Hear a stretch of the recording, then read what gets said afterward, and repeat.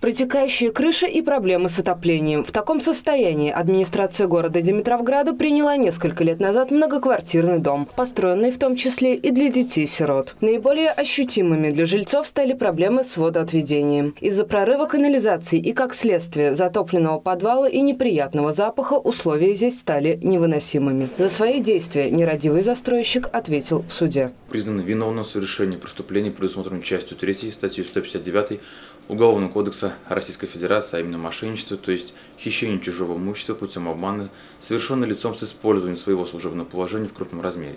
Ему назначено наказание в виде штрафа в размере 300 тысяч рублей. Помимо штрафа директора организации заставили исправить свои ошибки и привести в порядок канализацию. В настоящее время неполадки устранили, но прокурор считает, что назначенное наказание должно быть более строгим.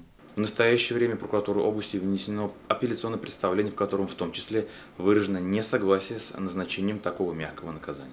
По мнению гособвинителей, справедливым наказанием за многочисленные страдания жильцов будет лишение свободы горе-застройщика сроком на три года в исправительной колонии общего режима. Предварительно судьба обвиняемого должна решиться этой весной. Юлия Руднева, Александр Кудряшов, Улправда ТВ.